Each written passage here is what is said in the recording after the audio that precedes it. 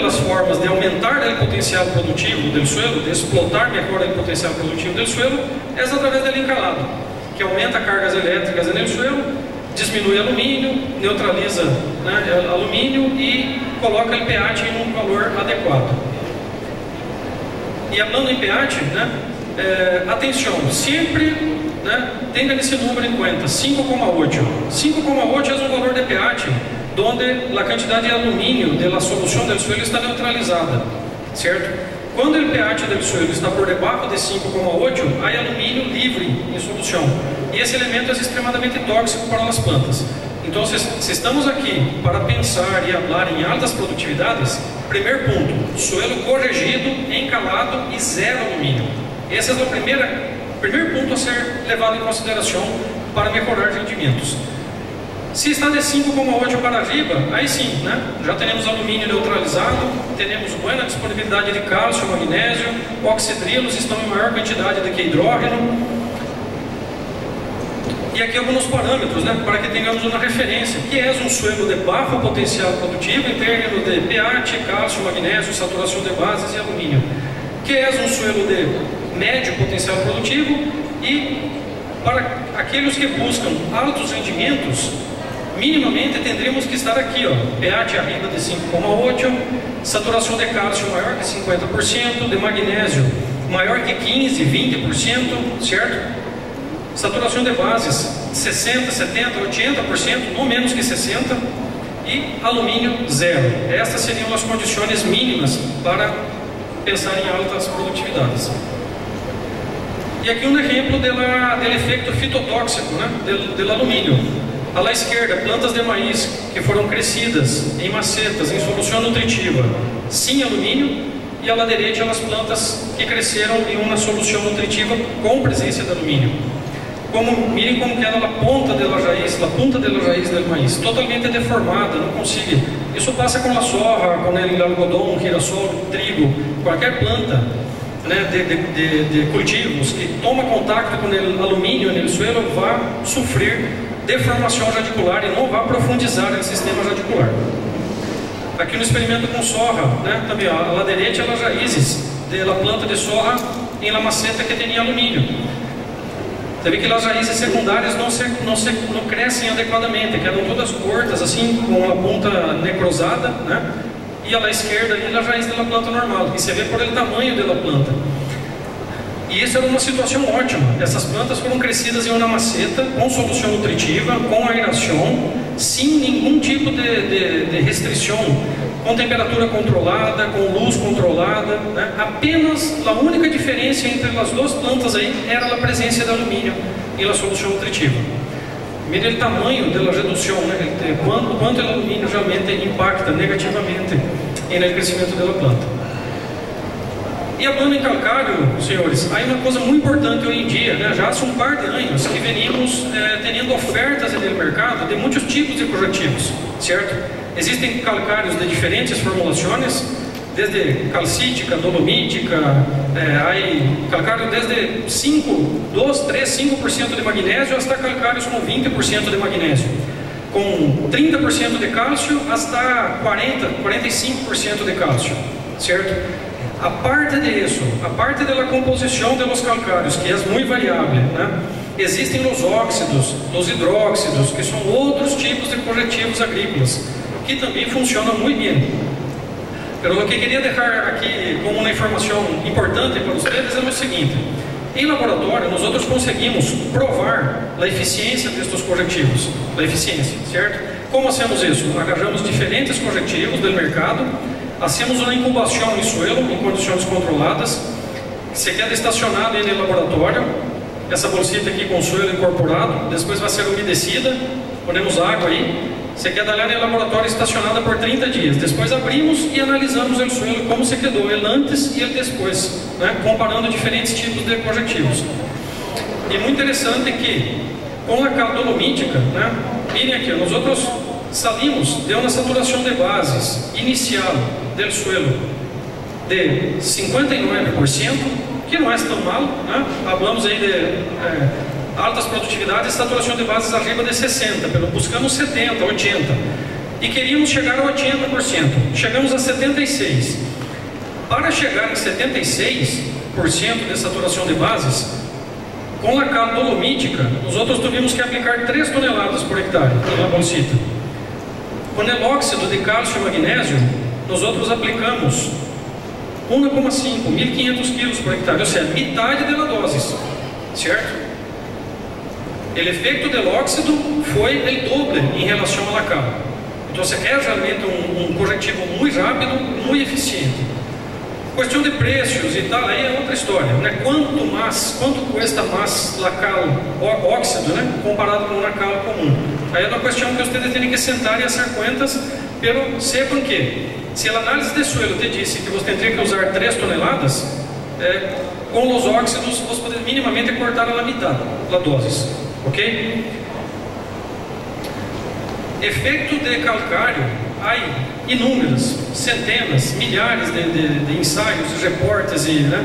É, de igual maneira, eu me gostaria de mostrar dois ou três aqui para vocês, né? Aqui em Hernandárias, né, um oxissolo bastante arcilhoso, uma sorra que ele testiu produto 3.800, quase 3.900 quilos, né? Um experimento de encalado, que já é muito bueno. Se eu não tinha ao lado, na mesma parcela, o tratamento com calo aplicado, eu estaria muito feliz com quase 4 mil quilos de granos, certo? Pero ao lado, teríamos aplicado 2.500 quilos de calo em superfície um ano atrás e se foi a 4.400 quilos. Então, não há, não há dúvidas, certo? Não há nem o que questionar. Cal, calcário é o insumo que mais nos ajuda a incrementar a produtividade, certo? De primeira manchas, manchas nos campos, francas, né? muitas vezes a aplicação de cal não foi minete, então você queda, você quedam franjas que não, que não foram muito bem aplicadas. Né? Então, o que passa é isso, vemos, com frequência vemos esse tipo de coisa no campo, por mala aplicação, mala distribuição de la cal.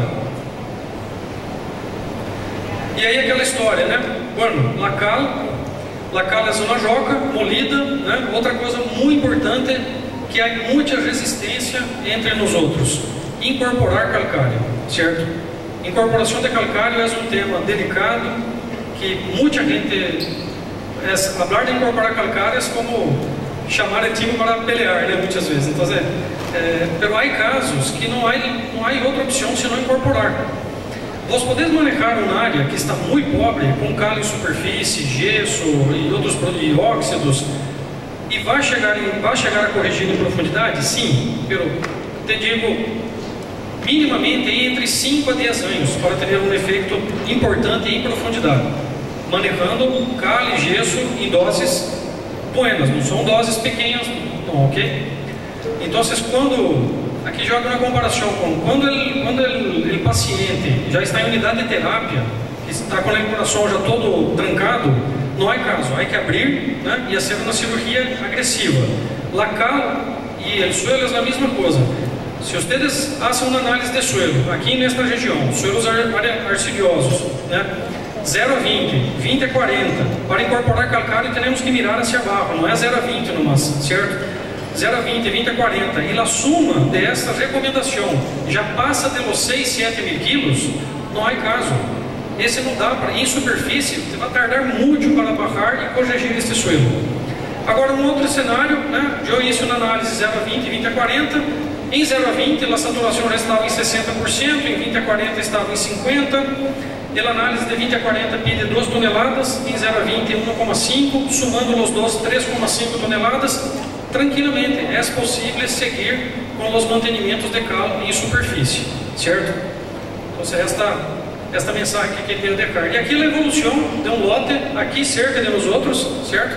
É, antes dele encalado, em 2019, a produção em sacos de soja por arqueire, ele senhor entrou ali, aplicou a cal, incorporou a cal, plantou avena no inverno, isso uma boa cobertura de avena, e na safra seguinte, 193 sacas, e no ano seguinte, 184, e você vê, né, por la curva de crescimento, através de, lo, de imagens satelitales, conseguimos obter aqui ó, a curva de crescimento das plantas, certo? as curvas de crescimento. E você vê que melhorou muito. As plantas quedaram com maior vigor, a curva de crescimento foi um pouco mais límpia, vamos dizer, né? um pouco mais melhor desenhada, e a produtividade aumentou por três anos consecutivos. Falando um pouco dos micro-organismos, né? É, interação entre suelo, planta e micro-organismos. O que conhecemos da microbiologia do suelo, eu creio que falar em 1% de conhecimento é muito. Nós outros nem temos ideia de lo que passa em relação à microbiologia em subsuperfície do suelo, certo? É um mundo, é um mundo à parte. Há micro-organismos que interatuam com a raiz que ficam nitrógeno, isóbios, aspirino, por exemplo. Há micro-organismos como bacilos e pseudomonas que interatuam com a raiz e cambiam o padrão de, de, de, absorção de nutrientes, eh, interatuam com, micro, com nemátodos e protegem a raiz. Eh, há outros que estimulam o crescimento da raiz através da produção de hormonas. Né? Há bactérias, por exemplo, que interatuam com a raiz e a raiz empieza a produzir mais hormonas de crescimento. Então você cresce mais raiz. É um efeito secundário dessa bactéria. Há bactérias que são solubilizadoras de fosfato, há bactérias que são é, micro-organismos, hongos e bactérias que são essenciais para romper a matéria orgânica e disponibilizar nutrientes para as plantas. Enfim, é um mundo totalmente é, ainda muito desconhecido para nós outros. Pero uma coisa é certa, isso sim sabemos, né? sabemos, e, se não sabemos através da, da análise microbiológica, sabemos quando observamos um melhor crescimento. Quando colocamos calcário, ele pH passa de 5,8, 6, esse ambiente é muito mais favorável ao crescimento dos micro-organismos, certo? E é desfavorável aos micro-organismos maléficos. Isso está muito bem definido, já muito bem estudado. Esse experimento, né, se isso acá em Paraguai, em convênio com a Universidade de Maringá, nós outros participamos com, com, com o laboratório, com os dados do laboratório, é, de se convertiu na tese de, de maestria, e aquilo que vemos, ele, na gráficas um pouco diferente do que estamos acostumados a, a ver, pero eu lhes explico rapidamente. Esse que vocês veem aqui, ó, à la direita, prati, significa pratilencos. É a população de nematodo pratilencos no suelo. E à esquerda, vemos ali ó, SD, micro, potássio, 6C, carbono e macronutrientes. À esquerda estão os parâmetros do suelo. O que significa essa análise estatística dessa forma como se isso? Que pratilencos e fertilidade do suelo estão na contramão, certo? Quando eu aumento a fertilidade do suelo, naturalmente eu desfavoreço os nemátodos e vai diminuir a população de pratilencos. Então, aí um efeito secundário, né, da, da fertilidade do suelo diminuindo. E vocês sabem que nemátodos roubam a produtividade. Rouba, quando vocês veem os manchones de nemátodos aí por el campo, essa, essa é a herida nomás, pelo tulote, seguramente em 100% do tulote já há presença de nemátodos. E te está roubando produtividade sem que você te conta, né? Com 4, 5 sacas por hectare, aí você está indo de de tu campo perdendo para os nemátodos. Outro exemplo, e essa eu posso falar com propriedade que é zelária de mi papá. É a zelária onde ele cultiva aí. A lá esquerda, ele maíz é, com uma saturação de bases razonável e a lá direita, a franja onde ele caminhão aplicou e não, e não, se, não se aplicou bem na cala, certo? Então, nós fomos dar conta da mala aplicação apenas dois anos depois do serviço hecho. Então, essa franja de maíz que quedou com saturação de bases muito baixa, a população de pratilencos explotou 880 indivíduos. Onde eu tinha, à esquerda, uma saturação de bases melhor e o maíz estava mais resistente, a população de pratilencos estava em 120, certo? Então, o ambiente ácido e a carência de nutrientes como disse, favorecem os micro-organismos é, prejudiciais aos cultivos. Vamos mirar um pouco então a demanda da soja por nutrientes e alguma coisa de resposta à fertilização, certo? Uma soja de 5 toneladas por hectare, ela vai absorver do suelo o que chamamos de extração de nutrientes em la planta inteira mais de 300 kg de nitrógeno, 70 kg de P2O5, 180 kg de potássio, K2O, 67 kg de azufre e 330 gramas de boro. Use apenas estes para não quedar muito largo aí ali. Então, a planta de soja extrai do suelo uma quantidade bastante significativa de nutrientes.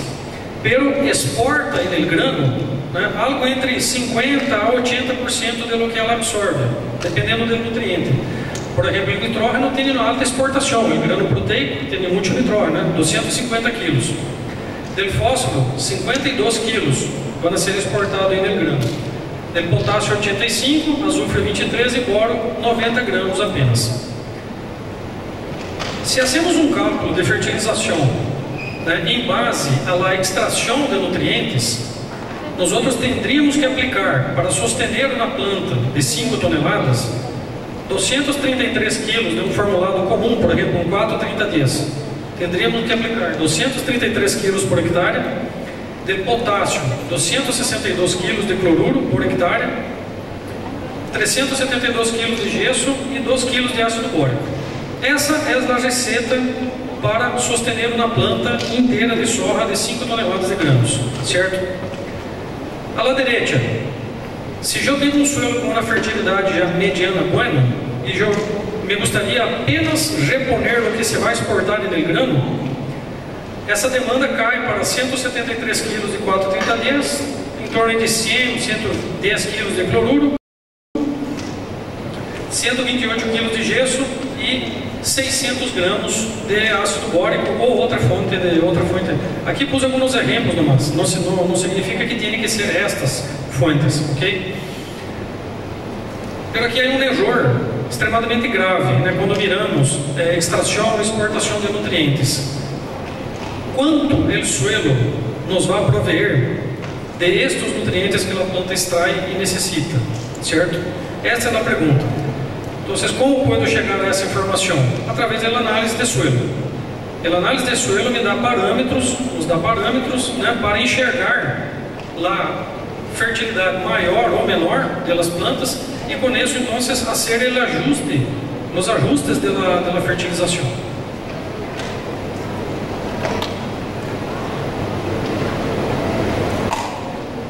Bueno, em linhas generais, aplicando o conceito.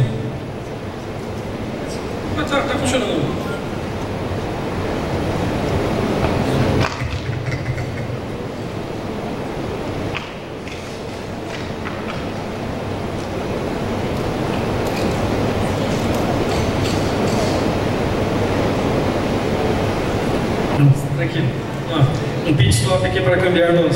Aqui dentro. Excelente, graças à organização. Eh, então, volvendo acá, seguindo o conceito esse de Mitscherlich, né, que as plantas, quando temos baixa fertilidade, né, baixa fertilidade, fertilidade buena e fertilidade já muito alta, a resposta das plantas, ela, é, ela sigue essa, esse padrão né, de, de comportamento de uma curva. E já temos muito bem definido, por exemplo, para fósforo, né, que existem Existem níveis no suelo, isso diferente de um suelo arcilhoso, arenoso de textura mediana. Existem níveis já que, que sabemos que são os intervalos buenos. Né? Então, se, se eu hago uma análise de suelo e encontro, por exemplo, aqui, para a nossa região, um suelo arenoso, que é um suelo arcilhoso, e o fósforo está por debaixo de 10, 8, por aí, eu estou em uma zona, eu estou em uma zona de atuação, onde tenho que nutrir a planta e poner um plus para melhorar o suelo, para que chegue pelo menos, a, para que passe de 10 partes por milhão ou miligramas por decímetro cúbico, o tenor de fósforo no suelo.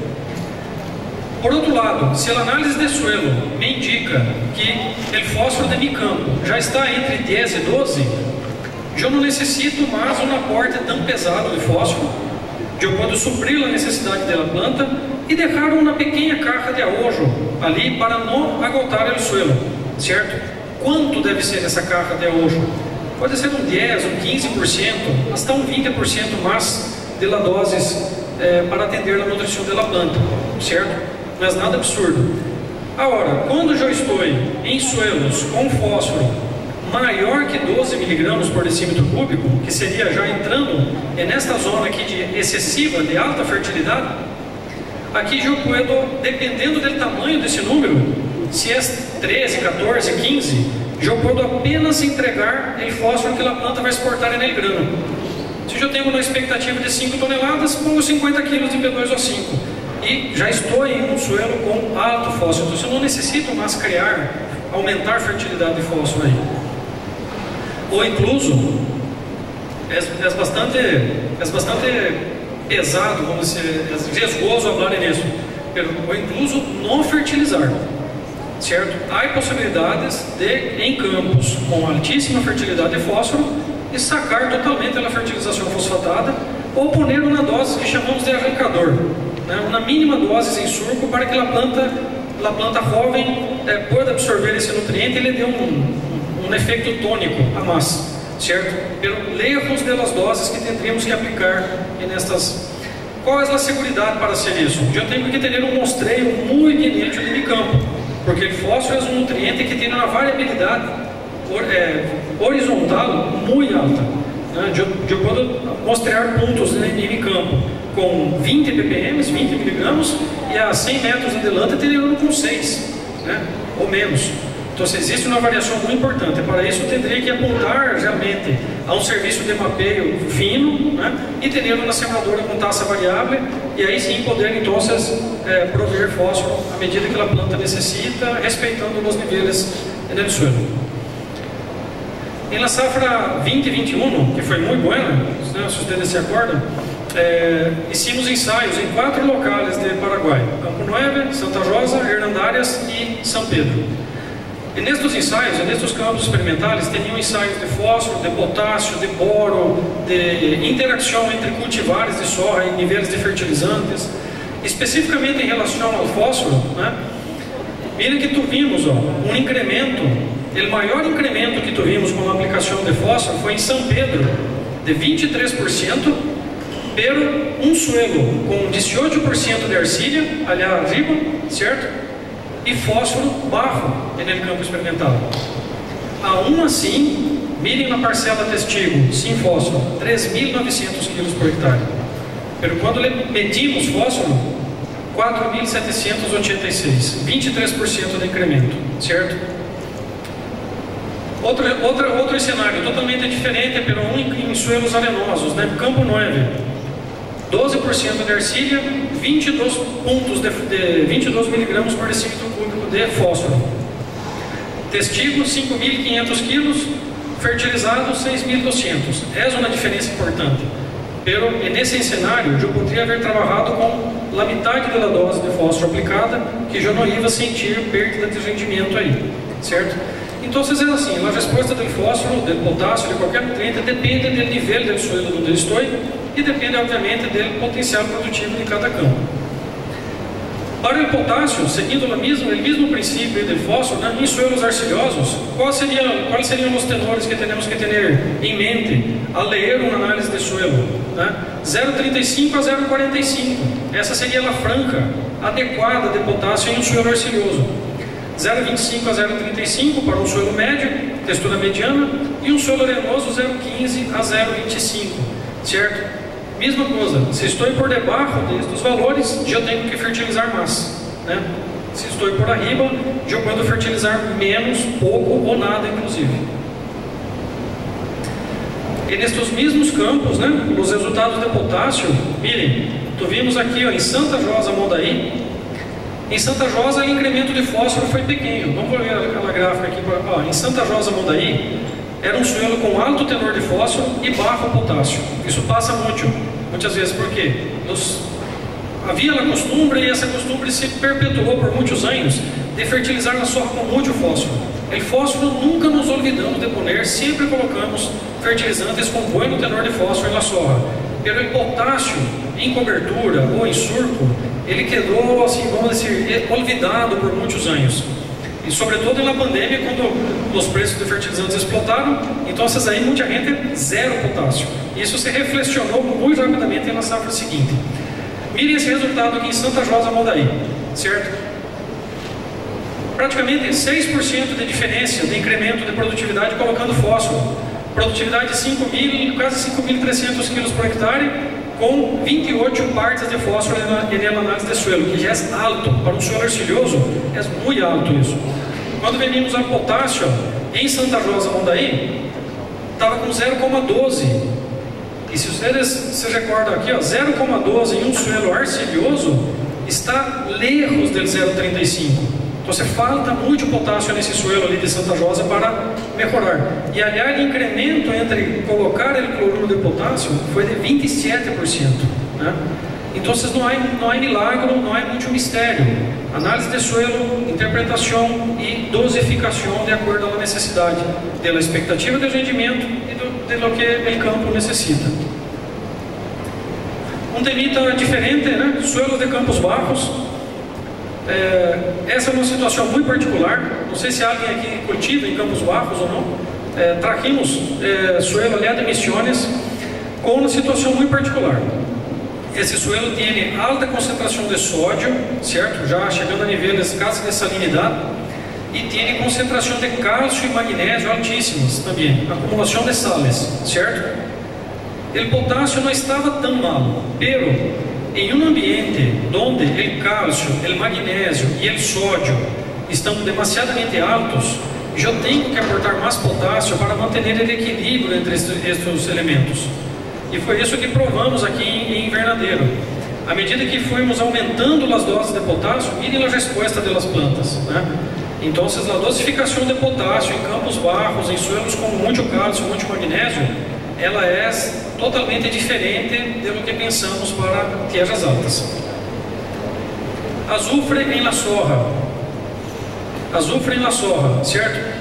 La soja é um, um dos cultivos que responde bem à, aplicação de azufre, certo? E os níveis no suelo deveriam estar por arriba de 10 partes, né? por arriba de 10 miligramas.